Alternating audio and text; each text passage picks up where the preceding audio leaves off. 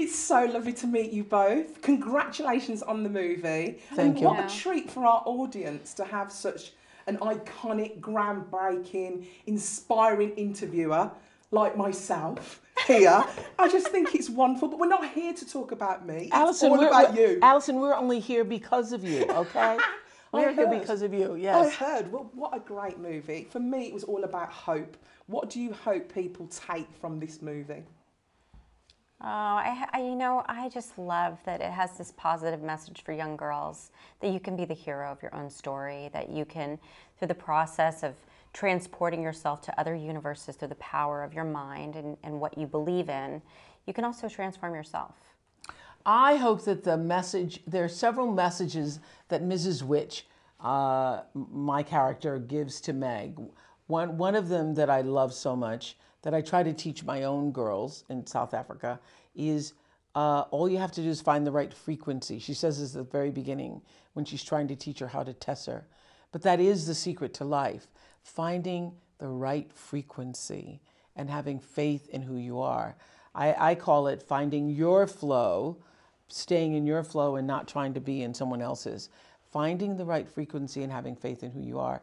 And also the message Mrs. Which gives to Meg when she says, Do you realize how many millions and millions and millions of things had to happen? Events, yeah. Events had to happen in order for you to be exactly who you are. And when you get that, when you really get that, and even when we were doing that scene, there was this like, oh yeah, that's right. A lot of things had to happen exactly the way they did, including your mom and dad being where they were in order for you specifically to show It up. instantly just makes you love yourself. doesn't it? Yes, oh, instantly. It's so special. Yes, to think about. away. Yeah. I mean, that's one of your own inspirational quotes. How flattering. What a compliment for the director to put that into the film. I know. Well, it's lucky when you have a director who is a friend of yours, who also, who also has heard almost everything I've had to say, and so many times I was saying things in the film that I like. Oh, this feels familiar, but but but, but after. Jennifer Lee and Ava got to it. It was just more, it was better articulated.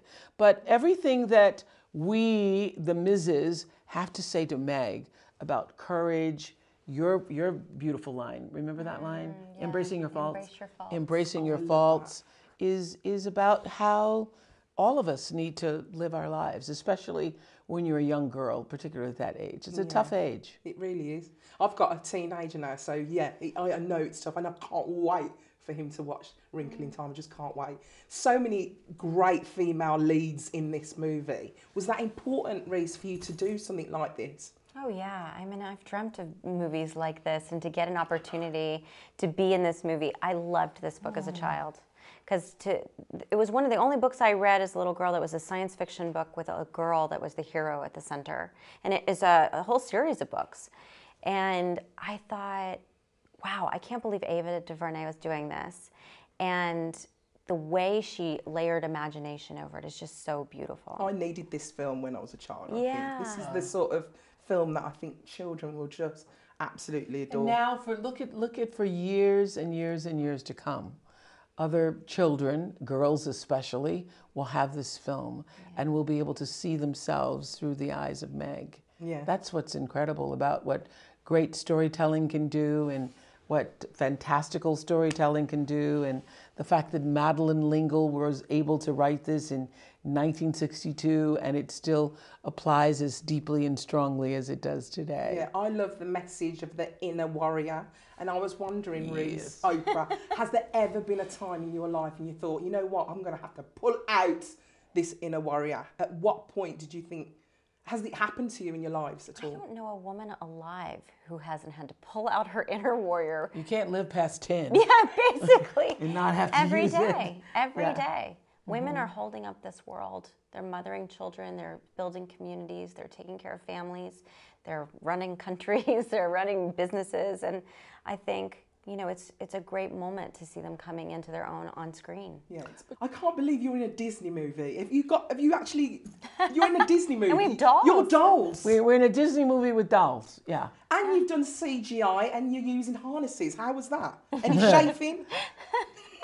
The first day I walked in and Oprah was on a on a rope, and I called her Oprah on a rope, Oprah on a rope. And I was like, uh, "This is surreal." Oprah, I said, "Why are you doing this?" She said, "I just love this movie." I love this movie, and that's why I'm hanging up here. And the truth, Alison, is my first day, I was so unsure of myself on the ropes that I just said, once I got up, I didn't want to come down. Really? Not for lunch, not for breaks, not for peeing. Just pass me not my sandwich. No, I was like, lift, bring it up.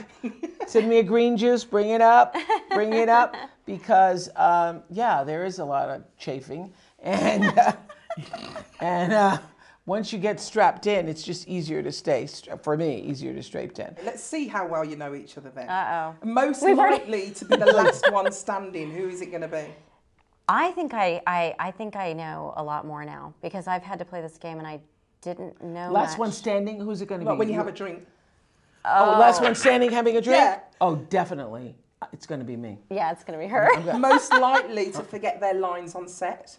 Uh, that's going to be probably me because she's been doing it so much longer. Really? Yeah. Well, you nailed that first monologue. That was crazy. When they changed it in the They middle of it. changed it like that on her, and she memorized an entire two pages of dialogue. No, but she's been doing this. So, so- I mean, I asked her one day, gee, Reese, how many movies have you done?